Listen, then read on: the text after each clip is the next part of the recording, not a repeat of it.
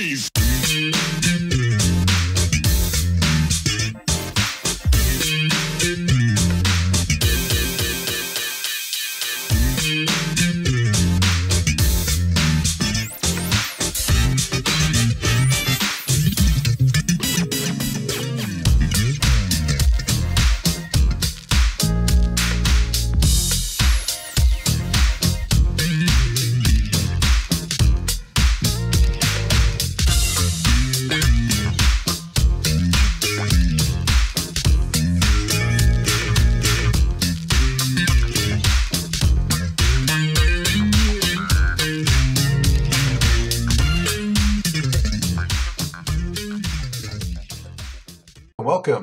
Edition of Truth in Rhythm. This is the interview show that gets deep in the pocket with contemporary music's foremost masters of the groove. I am your host, Scott Dr. GX Goldfine. If you enjoy this programming, subscribe to the Funk and Stuff channel on YouTube, which is where Truth in Rhythm lives, and be an advocate by spreading the word among fellow funk, jazz, and R&B music lovers. Join Truth in Rhythm's membership program through Patreon. You can also submit a direct donation to the cause anytime at funknstuff.net. At that site, you can also purchase the book Everything's on the One, The First Guide of Funk. Shop for official Truth in Rhythm and Funk and Stuff merchandise, and use the Amazon links for all of your online purchases, which allocates a percentage to this show. For those of you who go the extra step in supporting the show, you have my heartfelt gratitude for allowing us to continue to shine the light on those special artists whose quest is to find truth in rhythm. I'm delighted to welcome to the Truth in Rhythm Mothership Cheryl James, a former road manager and background singer beginning in the 1970s within the Parliament Funkadelic organization. Cheryl, thank you so much for joining me. How are you today? I'm wonderful, Scott, and thank you so much for having me. I know we've been at this for what six or seven months now, so I surrender. You've got me. Here I am. yeah, well, I try to be persistent. I've I've learned that that's you know a good uh, uh, tool in my life. So. And it must work because I've mentioned you to a couple of people, and they said, "Girl, go ahead and do it. He's not going to stop." Maybe I should have been a, a private investigator or something. You know. okay. Wow. Well, I appreciate it, Cheryl, and the viewers and and uh, listeners will too. So thank you. Thank you. Now, um, you're home, I assume. Uh, what area of the country are you in? I'm in Detroit, Detroit, Michigan. Hmm. Well, that's born and the... raised. I've lived all over the place, but back home, yeah. Yeah, so I can only imagine what it's like growing up in an area that is just so rich in music history uh, it just must flow out of everywhere, the pores of the of the city, right? Absolutely, yeah. You see, you see your people, entertainers, and everybody everywhere from the time that you probably entered junior high school because a lot of people started way back then. I remember doing um, shows at in high school. You know what they call back then sock hops and and little concerts they used to do at school. You know, I used to hang out with you know, dramatics and different people like that, you know, because just bouncing around from school to school, doing shows and hanging out all over town, you know, all the nightclubs in town. Um, they weren't really big on barring you from getting in. So I've been hanging out in nightclubs since I was like 15, 16 years old. And there's everybody. You grow up with people, you hang out with them, you you do all kind of things with them. So yeah, they become a, a natural, normal part of your life yeah. Yeah i imagine it's kind of like i grew up in los angeles so for like movie stars and things like that it's kind of commonplace to just see them wherever you know? I imagine like that with the musicians for detroit. Absolutely and well i lived out there for eight years and worked in the movie industry. Oh okay well we'll get we'll get to that. I, I got to hear about that so um what uh what was your life about before you connected at all with the P Funk camp? uh, rather restricted. I grew up in a family that was that believed in going to school, getting a job, you know, getting a good job and working and being a good citizen and doing what you were supposed to do. And I found that the corporate world just wasn't for me. Um, I think right before I jumped ship and decided I wanted to be in the entertainment business and learn the business, not the not be an entertainer, but learn the business. That was my interest. So before that, I was in corporate America, Ford Motor Company, research and engineering. And that was the most boring thing, the most it was driving me crazy. So one day I left and I just never went back. And to this day, my family still thinks I have issues for doing that, but I've been happy. I'm not, I never regretted walking out that door and never walking back in again. So, yeah, I came from corporate America. Yeah, very strict environment. Um, I came from a strict family. Uh, I only had one sibling, and she's almost 10 years older than I am. So I basically grew up on my own being told, this is what you're going to do. This is what you need to do. This is how you're going to survive, you know, those kinds of things, those kinds of rules and regulations. And I just wasn't into rules and regulations. So um, I took off and did my own thing. Was there anybody that you saw uh, do a concert in your early years, teens, early 20s, or as a young adult that just kind of blew your mind and you were like, wow, this is amazing? Sure. Before I came to P Funk, I was on the road to Temptations for a while. Um, Dennis Edwards hired me. You know, I was just a, a gopher, but you got to start somewhere. And that didn't bother me. You know, I knew that I could always go back to corporate America if my life failed. I knew my brain would support that. I just never wanted to go back. So I was hanging out one night and got invited to his house with a gang of other people. And he started asking questions of everyone. And I I talk a lot sometimes. I either talk a lot or I don't talk at all. And I was running my mouth over in the corner and he said, Hey, you, the one talking. He says, What do you do? And I told him in so many words that I just bailed from corporate America. He said, Can you drive? I says, Oh, absolutely. I can drive my ass off. You know, so he says, I didn't ask you that. I asked if you could drive. And me being the flip person that I am, I said, My answer is still the same. I can drive my ass off.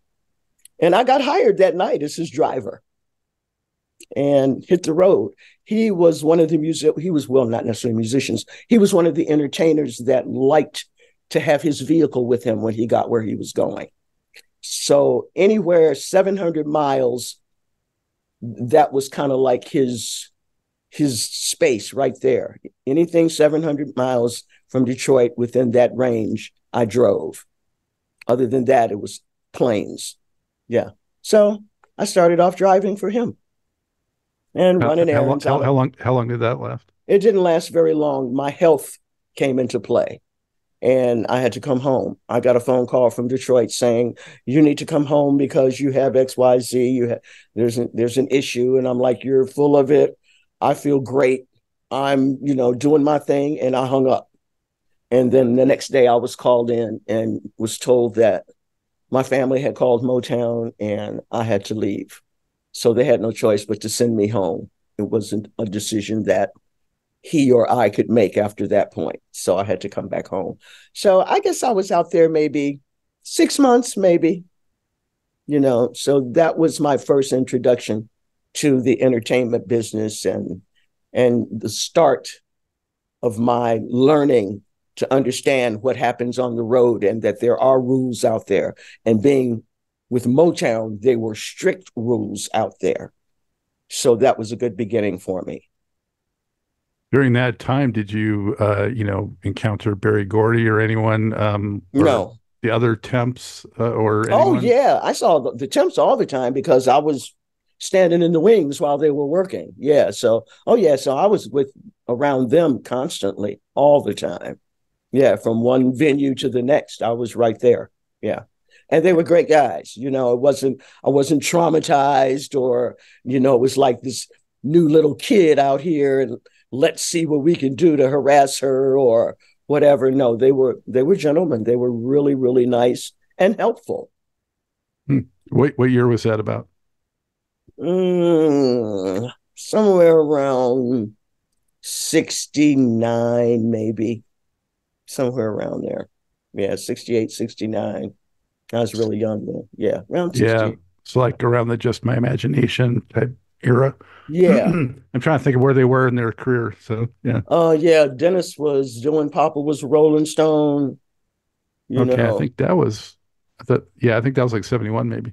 Was it all the way there? Okay, then go back a few years then. Yeah. Because in 71, I was in LA. Okay. Yeah. So, all right. So you you had that brush with uh, mm. music and um, that whole scene, and then you know what happened, what transpired between that and you know encountering P Funk. I knew P Funk from New York a girlfriend of mine was headed to New York to take care of some business. She says, Hey, you want to go? You know, she said, I got to meet these guys and she's going to handle her business and we are going to come back home. The guys that she were, was going to meet was Parliament Funkadelic. And the person that she was meeting was Eddie Hazel. So, and they were gigging at the Apollo. So we got to New York, went to the Apollo, met Eddie, and met everybody actually. Yeah, that's that's when I actually met everybody. Tiki, Eddie, um, Fuzzy, Grady, all of them were there. George met George. Yeah. So going to Apollo, yeah, in the late '60s is when we met. So then they were just funkadelic. It was before Parliament. Exactly. Yeah. Yeah. So they yeah. were very, very wild and rough around the edges at that point. Ooh, yes. Mm, mm, mm. I'm like, where did they come from? Who are they? You know, but they were wonderful. They were so nice. You know, had I ever heard anything negative about them, I would have wondered where that came from because they were really, really genuinely nice guys. Yep, no muss, no fuss, no hassles. Yeah. And we hung out and partied with them for a couple days and came on back to Detroit, you know, exchange numbers, you know, and addresses and things like that. So when they did land in Detroit, you know, I was one of the people that they touch touch base with, contacted. So when you heard them perf- play, though, did it kind of blow your mind? Like these guys are oh, just out oh, there. Hell yes! I'm like, where's this music coming from? Who are they? Where they're coming from? Where's this music from? Never heard anything like it before. So yeah, it was a completely different groove, started to change my whole attitude about music. You know, it's like, huh, there's some real music being made out here because I was so regimented to the Motown sound and what mm. was going on around Motown. Yeah, suddenly the boundaries were blown away. Oh, yes. Yeah. Yes. No rules, no nothing. It's just like, let's just be wild and make some hell of a music. and that's what they were doing. So, about how much time would you say elapsed between that and when they came to Detroit and looked you up? Hmm, not very long. Say maybe within a year. Yeah, it didn't take long. Not at all. Not long at all.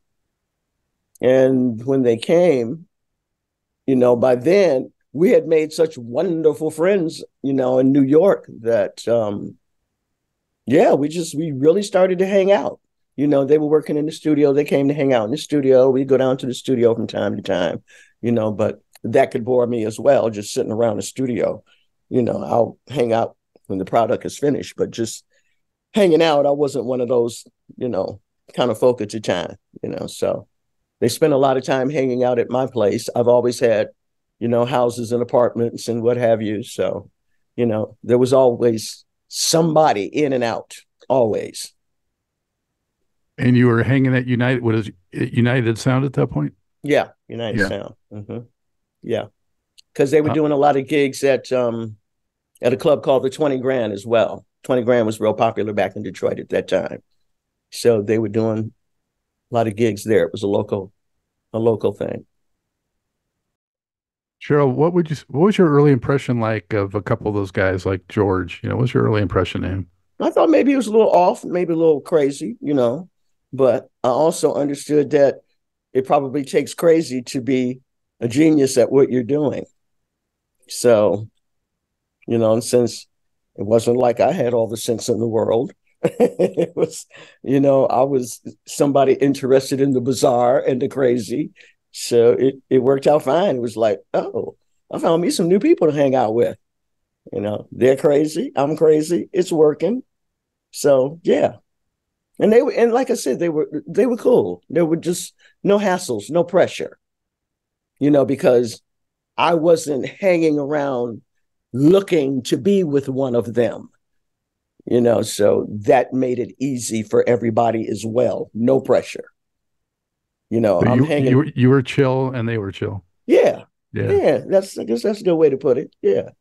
Yeah, they understood that I was just somebody that was cool to hang around with. Yeah. I don't want anything from you. You know, not looking for anything. So I was my own person. Didn't need anything from anybody. I was I've always been very independent. So yeah, so everything worked out great. Did it seem clear though that George was kind of the ringleader, and did he seem like he kind of had uh, creative, unorthodox kind of thought? Oh, very unorthodox. And yeah, it was very evident that, you know, he was that guy. He was the one, you know, but he was always so quiet and laid back. You know, that was something that always kind of interested me in him and, you know, made me kind of sort of watch him because he was a quiet guy. He is a quiet guy. You know, he was not loud and boisterous and, you know, having to be seen you know, and always having to be heard. You know, he was always in some kind of creative mode, you know, thinking about the music, working on the music, yeah, putting the music together, putting people together with the music. Yeah, that was always his main frame. He was always working on the music. So who was maybe like chatty or kind of out there with Billy Bass or you know who, who Yeah, he was a character. yeah, Billy was a character. Um, who were the people that were really funny guys? Bernie Worrell, he was always funny. He was always had something stirred up. He was always, you know, playful and picking at people and doing stuff and playing tricks. And so yeah, there was Bernie, there was Billy. Um, Fuzzy was a character. You know, he was live. Ray Davis, I really liked Ray. Yeah, something about Ray. He was he had his quiet side, but he's really, really a good guy. Always a good vibe. Always. So, you know, you pick your people to, you know, to talk to, to hang around with. And you, you know, Ray was around. We he was around a lot. He used to hang out at in one of one of the houses that I had a lot. You know, but it was always a pleasure to have him around. So when you started mingling with with the guys, were there any uh, girls yet in in the group for the backgrounds, or they hadn't come yet? It hadn't come yet. No, for the most part, I was just hanging out with the guys' girlfriends and wives because I got along with them. Yeah, like I said, I wasn't after your man. Uh, did didn't need that. I didn't. I didn't need any problems in my life. I was single and independent and happy. so if that's yours, good for you. I'm happy for you. So yeah, basically just the wives and girlfriends were around. Yeah, Mhm. because one of them is in town right now. I got to get to her before she leaves. Yeah. Um, so how did your involvement progress? Uh, George knew that I had been on the road with the Temptations, you know, just from me bouncing back and forth in and out of the studio. You know, I always had a vehicle. I've always had cars all of my life. So when I was 16 years old, got a car, never been without a vehicle since. And, you know, they, when you know, you're living in a strange town, you don't have any cars, you don't have a way to do anything. So, you know, so I was always there, you know, shuttling the guys around, you know, going here, going there, getting them back and forth to the studio or to a gig or something. So just from hanging around, having conversation, he knew, you know, that I had been out on the road and he knew that I was back from the road. Um, my problems were over and I was just kind of like hanging around, bored, you know, telling myself, God, please don't send me back to corporate America. You know, find something for me to do. And George was in the making of in his brain, you know, he was putting together that that female thing. You know, they had been out in LA for a while, so he was trying to get that together. And once he got that together in his head, he asked me if I'd like to go out on the road with the with the girls. And I was like, yeah, no doubt, you know. Corporate world be damned. You know, so I was all over that, you know, when he decided. And eventually he sent me out on the road to train before the girls were ready to go out. And that's kind of how it all worked out. Yeah, he knew that I had been out there. He knew I was familiar with the road because I had gone out with who I was with, you know, and he knew things were were like I said rigid and there was order and it was organized. So and I had always been that. George had never seen me scatterbrained or, you know, just doing tripped out stuff, you know. As far as they were concerned, my shit was together. Like I said, I always had my own place, own vehicles, on my own money. I was never hanging around trying to spend somebody's money or anything like that. So not that there was any to spend, but that none of those things were in my playbook. So who was the first you met? Was it Mallia or who do you think was maybe the first ones? Mm-mm. The first female I think I met, yeah, it was Deb. It was Debbie. Yeah, because right? she, yeah, yeah, because she was the first female that they pulled in. Yeah. So yeah, Debbie was the first one. Yeah, and then Mallia. Mm-hmm. And so then, and then Jeanette. And and you along the way, you actually got a couple background vocal credits. You know what happened? How did you you just were around and they pulled you in, or what? Yeah, well, I I could sing, you know, but that, like I said, that was not my motivation. That was not my mo. I I didn't show up because I wanted somebody to make me a star or because I wanted to sing really bad. But my thing was, shit, I can sing can I get some of this little extra money? That was my motivation. So um, when they were putting everything together, and the girls knew, you know, that I could sing a little bit. And Mallia, somebody recently referred to her as the architect. And I think that is a perfect word for her because she brought so many people on board. She found so many people, you know. So I don't know if it was Mal, it had to have been her that said, hey, you know, she can sing. And there it goes. Background, I went. Just in the studio, had no desire to be on stage trying to do anything. You know, the, all of that is just too, it's too much for me. You know, I just want to want to be part of an organization and be in the background. I'm a background person. which, just... which, which which tracks are you on for the folks watching? Mm-hmm. You don't remember? when it comes to Parlet, I did almost all of their things on on almost all of their almost all of their stuff. Yeah, I sang on almost all of their stuff. Yeah, and a couple of things for the brides. Yeah, see how I said mm-hmm. I, I was just singing, making extra money. I just was not trying to be a star. You know, a lot of people have never seen me, don't know me because I was just one of those people that was just never trying to be up front or be out there, you know, trying to be known. Uh, that wasn't my fantasy. Yeah, well, you were literally part of the um, the funk mob, the P Funk Army. Um, what um, what was it like for those most of us never around in the studio when P Funk was in studio doing their thing? How would you describe that scene when you were hanging around? It all depends on who was in the studio, who was working, what they were working on, what kind of condition everybody was in. Because sometimes it was just a wild ass party in the studio, and other times it was quiet and serious because something serious was being cut or sang or whatever. But sometimes it could be real chaotic. It just it it de- depended on, on, on the day and the person. Um, things go wrong in life, so if somebody's not happy, they might disrupt a whole session. And you know, after the conflict, you know, the cursing or the you know, or I'm going to do this to you, or I'm going to do that to you. You know, after th- everything calms down and boils down, it's back to business. But it could become very chaotic because you have to understand there's so many people that do want to get at you because of who you are. So, you know, and the guys would bring females to the studio sometimes, and those females didn't understand their position, or they didn't understand that the guy might have somebody there already. And they didn't know to just sit and be comfortable and be quiet, you know, as opposed to wanting to hang all over the guy or, you know, pretend that they belong to the guy, you know. So you always had female conflicts from time to time going on. Yeah. All depending on the mood and the day and the time and the and yeah, just what was going on. You hmm. know, there was always people getting high. So all depending on the extent of your getting high, you know, a lot of things came into play.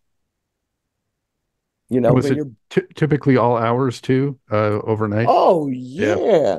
We came out of the studio a lot of mornings blinded by the sun. Yeah, it's like, oh my God, we've been in here for 12 hours. Oh yeah, sometimes it's absolutely spent the night in studios. Um, there was a studio on the east side. I can't remember the name of it. It wasn't in Detroit. It was in East Point or somewhere like that. We spent a lot of time in that studio and spent a lot of nights in that studio. But um, that was the way it went with them. Yeah, sometimes you just spent the night in the studio waiting for your turn to get to the mic. Mm-hmm. You know, go to sleep, wake up, or go to sleep, get high, wake up, waiting for your turn. You know, sometimes when putting backgrounds on on on a lot of things, George sometimes didn't use instruments. He used us. You know, hand claps come across a microphone, you know, in in, in a variety of different ways and sounds. And sometimes we would spend an hour or two standing in a microphone, a gang of us, just clapping as hard as you could, you know, over and over and over till your hands were red, till your hands were hurting. But once you heard that mixed in a song and played back, it's like, damn, you know. So yeah, George was an extra. He is an extraordinary guy, and some of the shit he came up with was just amazing. Hmm absolutely amazing. I'm, I'm guessing that uh, having been on some of that and then hearing the finished product on the radio eventually amazing. probably surprised you sometimes, right? Absolutely. Sometimes we'd be riding down the street and one of the tunes would come on the radio, you know, and we'd be in the car singing and bouncing and having a good time. And it's like, damn, listen to so and so, or listen to this, or listen to that. Yeah. Yeah. It was hmm. about mm-hmm. that music. Um, I mean, you, I don't think you know about me, but I got exposed to it for the first time with Mothership Connection. Um, it's one of the first records I ever bought on my own when I was junior high age. okay. And uh, I was hooked. I mean, totally hooked from that point on. Yeah. Got everything before it, everything after it, the yeah. day it came out. Could not get enough of the funk. You the know? music was, like a drug. It's like a drug. Yeah. It really, really is. You know, there are generations of people listening to that music now. Absolutely generations. You know, people are still raising babies to P Funk. it's amazing. Yeah. Yeah. It's never been, I mean, many have tried, but it's yeah. never been completely replicated. Maybe for like a flash here or there, but exactly. nothing like the, I mean, it's, it's just nothing in the history of music, really. No, no. Um, well, the musicians were outstanding as well. You know, people have a tendency to look at musicians like, eh, they picked up a drum and they learned how to play, or picked up, you know, their axe and taught himself how to play, or ah, he learned in the high school band. You know, no, these guys were exceptional. You know, when you have Boston Conservatory of Music and Juilliard School, I mean, you know, real music. You know, you'd be on the bus, the tour bus going down the highway, and there's Bernie sitting there with napkins spread out on the table. He's literally writing music. He's putting notes on a napkin, you know, getting getting tunes ready. You know, groups don't do that. They didn't do that. It takes an exceptional bunch of guys to do that. And a, and a masterful ringleader. Um, Absolutely. yes. Yeah. Yes. What what year was it when you kind of became employed by the organization? 1970 late 77 or early 78 okay so yeah i think Parlet's first record was 77 i want to say and bride's first in 78 um what um what were you tasked with doing you know related to those acts. Making sure that the girls were taken care of on the road. Road managers, I used to refer to it as glorified babysitter. Because kind of sort of in essence that's what you're doing. Um, you're also responsible for getting because they had a hell of a band too. Parlet put a band together that was amazing. Bunch of young guys young guys and they were killers.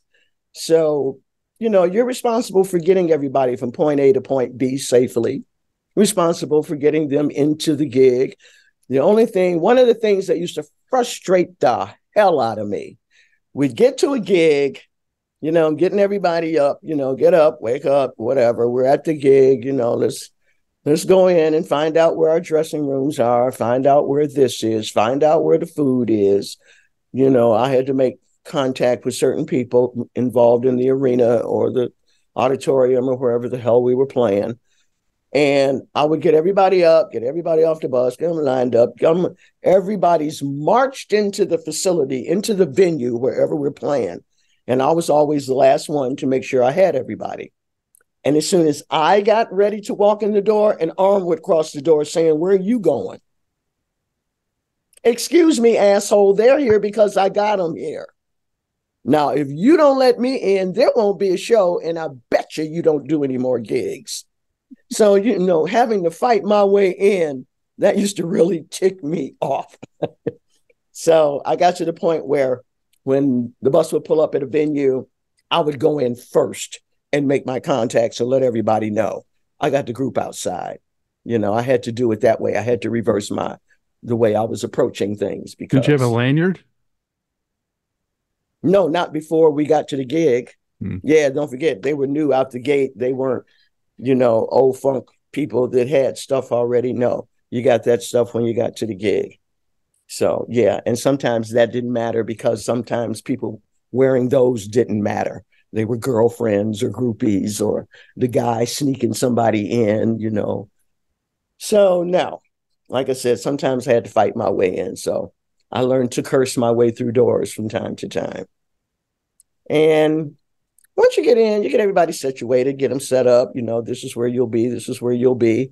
Sometimes everybody was together in the same room because depending on where you were working, uh, facilities weren't separate enough for the ladies to be here and the guys to be there. So everybody got used to dressing in front of each other and doing everything. You know, your family on the road. So get with the program. You know, get out of that crap and get in this. You know, we got work to do. So, yeah, you're responsible for the group. Uh, time is a factor. You know, you're responsible for getting them to the stage on time, getting them off the stage on time, um, hotels, checking them in at hotels. You know, go get the keys. Everybody stays on the bus, so it's not to frighten everybody in the hotel lobby. So everybody stay on the bus. Let me go get the keys. You know, come back with the keys, pass them out. You know, and sometimes we get to certain venues depending on where we were in America, and uh, we just weren't welcome. So what if it's already paid for? We don't want you here. Oh, but we have nowhere else to go, and this is paid for. So that sometimes I had to go back out to the bus and say, okay, everybody, this hotel is going to be a problem for us. So we need to get our boom boxes and we need to go sit in the lobby and we need to play music until they understand that we're not going anywhere because we don't have anywhere to go and we're not sleeping on the bus. So sometimes that worked. I shouldn't say sometimes, most times that worked. Yeah. You know, you got people coming checking into a hotel and they see a bunch of crazy ass looking people in the lobby with P Funk music blasting. Hotel has to do something quickly. So it's like, get to those rooms now. so, yeah, there's always something going on, never a dull moment. You know, I've checked out of hotels and and depending on what part of America we were in. Um, there were great big old policemen standing there with their hands on their guns, like we were going to run out and not pay the bill. You know, and I would look at them and ask them, May I help you? You know, now we're just making sure you're going to do the right thing. We always do the right thing. Could you move over so I can take care of my business so we can get the hell out of here? So, yeah. It, Cheryl, did you have all of those qualities you think as part of your makeup, or did you evolve a little bit into the role? No, um, that was basically part of my makeup. My mother was a beast. she didn't play. so I kind of grew up, like I said, you know, independent and knowing who I was and that I wasn't going to take any crap. Yeah, my mother was a beast. She was a short woman um, that knew who she was. She worked hard, made uh, her money. My parents made good money, and uh, they didn't take any crap. They taught me to not take crap. You don't have to. If you know who you are, you know what you're doing. If you're qualified for what you're doing, don't take any crap. Mm-hmm. Now, who was your counterpart on the Parliament Funkadelic side? Was it Archie Ivy or somebody else? Or when you say my counterpart, meaning who was like supposed the, to who was supposed to be my peer? Well, like the road manager on the Funkadelic and Parliament side, was there somebody in your role on that side? When I first went out there, you know, I was so busy doing my job, I can't even recall who was road managing at the point. I know, um, yes, I do. Johnny Parent. Hmm. Yep, Johnny Parent. Take that back. That's who was out there when I came out there. Because eventually I took his place when I left the girls because George gave me the guys on one of the tours. Yeah. And Johnny Parent left the road and I stayed and I came with the guys and worked great with the guys. You know, I was I was at the first bride show at the Starwood in Hollywood, California, which was like still probably been hundreds of concerts, and that may be the best one. Okay. okay. that was an unforgettable experience for sure. Yeah. Were, were you were you in the house at that? No. Okay. No, I wasn't there. I was where was I? I was probably somewhere with um with the uh, with Parlet. Because mm. I hung out with them as long as I could. Yeah. So uh Dawn's book, um, you know, you're in that book quite a bit. Um what do you think of the book? I haven't, I held it for the first time maybe 10 days ago. And uh, I wasn't in a position where I could, you know, I just kind of like thumb through it, you know. Um, so some of the pictures were absolutely awesome. We had some great pictures in there. Um, but I haven't had a chance to to eyeball it, the language or or anything like that. But yeah, I'm I'm super supportive of her writing her book, and I'm glad she's having a great turnout with her book, and I wish her much, much success with her book. Yeah. Yeah, it's been a great uh, addition to the lore, you know, and mm-hmm. I, I, think you'll be happy with how you're portrayed in it. So, okay. um, yeah, okay. I think it's all favorable. But um, oh, nothing's ever all favorable with me, and that's part of why I love me. Part of your charm, yes. Um, but you know, one of the key things in this, she she talks about um, sort of the systematic undermining of and sabotaging of like the girl groups, and that that happened within the organization. They had to sneak out at interviews and things like that. Can you shed any light on your perspective of of that? I I don't I can't use the word sneak because I never snuck them anywhere to do an interview. There may have been times when I had to fight you know, for interviews for them because somebody didn't think it was necessary or, you know, or they wanted to be there to monitor what was being said. And I'm like, no, you don't. We're grown, you know. So there were times when I may have set up an interview that nobody knew about, but I don't call that sneaking. I call that setting up an interview. so, yeah. So, other than that, yeah, a lot of interviews, and some of them weren't approved of. Yeah, what you gonna do? They needed press just like everybody else. So, and I was 100% for the girls. So, whatever had to be done out there for the girls, it got done if I could do it. You know, I went in my own pocket many times, you know, to buy things for the women, you know, because I was told, you know, there was no money or, you know, no, they don't need that, you know, so, ah, screw you you know, so I'd go get it. Yeah. You know, my thing is, you ain't the boss of me. It's hard working with men, especially on the road. Everybody knows it's not easy for women on the road. It's hard. And when men do not have your back in any way, shape, or form, You just fight a little harder. That's all. Especially back then, right? absolutely, got... absolutely. Yeah. Back then, it was just like it was treacherous. It was, ooh, yeah. You know, sometimes you you go somewhere by yourself at night and and and you cry to get that frustration out of you. You know, so you don't wake up the next day and go find somebody and kill them. You know, so you you, you have to protect yourself in, in in many ways. You know, found that out. You know, that's why a lot of people get strung out. That's why a lot of people can't cut it. It's hard. It's hard. Yeah. But I refuse to just die. I just just refuse. You know, I will fight back. Yeah. You know, I, I watched how, for example, like uh, Prince, uh, a few years later, he created the time, and the time started to do shows where they were kind of taking the limelight away from him. Yeah. And so he kind of suppressed the time. That's right. People don't like that. Mm-mm, so is George, that kind of a little bit of what happened with? Yep. George got mad at the girls sometimes. Yeah. Yeah. Yeah, he even made statements to the press from time to time about not letting any little girls show him up, you know, because like I said, their band was fierce. Oh, they were awesome. And me, if it comes up, it comes out. And some nights, Parlet's band, Parlet would be on the stage and they would be killing. And I would run back to the dressing room and tell the fellas, you better kick it tonight because they are kicking your ass out there.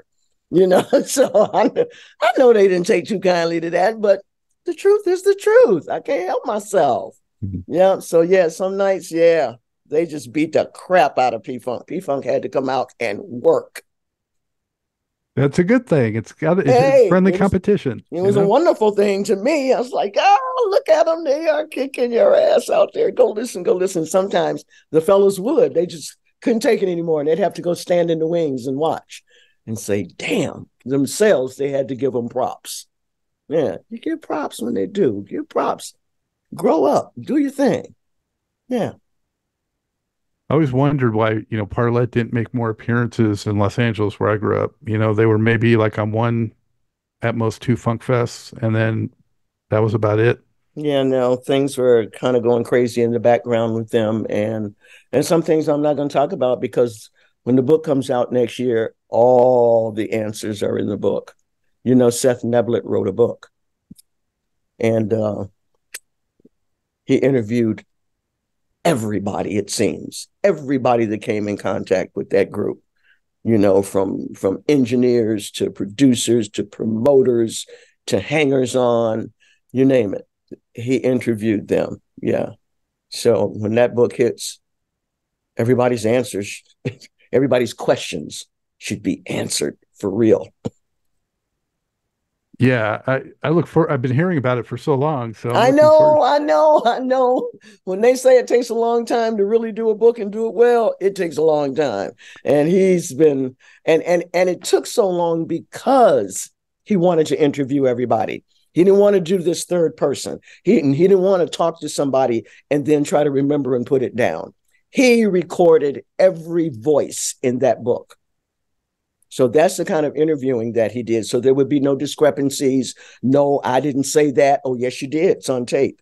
You know, so yeah, it, it, the book's going to be amazing. Yeah, because these are the people's actual words. These are everybody's truths, as I say. Whatever your truth was or is, that's what's in the book because like i said he sat and he interviewed everybody for the book he didn't just take somebody else's word for something i believe the title is uh, mothership connected the women of parliament funkadelic so yes. hopefully i know the title changed at some point too but i think yeah the working the working title was oh it went away as soon as i was getting ready to say it yeah there was a different working title Damn it. The, the, the, girls are bad or something like that. Yeah, the girl is bad. Thank you. Yeah. See, you know everything. The girl is bad. That was the working title. Yeah. yeah. So, yeah. yeah, over and over and over as he wrote and called and read to me. And then we would hook up. I'd go out there. He'd come to Detroit and we would read and read and read. So, yeah. So, like I said, these are people's truths that they had to say about different aspects of, of of that life of the whole Parliament funkadelic world. Yeah, I'll definitely have him on once that finally comes out. Looking forward Yeah. to that. This is a, to- a toast to his mother. That's what this is all about. Yeah. Because Mallia, she was, she was, well, she was crazy as hell. That's my girl, my pal Mal. That's what I called her all the time. my pal Mal. Because because when she was on the road, sometimes I had Seth with me because he was a kid. He was a child then. He was really, you know, a, a a kid. So sometimes she would go off and do her thing with another group or somebody else, and Seth would be with me. We'd hang out. Yeah. So he and I became super, super, super close. You're like Auntie Cheryl. Yeah, I've been mama, auntie, you know, yeah, all of that. Yeah, Yeah. he's been son, nephew. Yeah, yeah. hmm There's much more to this great Truth in Rhythm interview. Just continue on to the next part of the episode. Also, be sure to subscribe to this channel. If you've already done so, please share it with friends. And become a member by joining Truth in Rhythm on Patreon or consider donating at funknstuff.net. Thank you very much.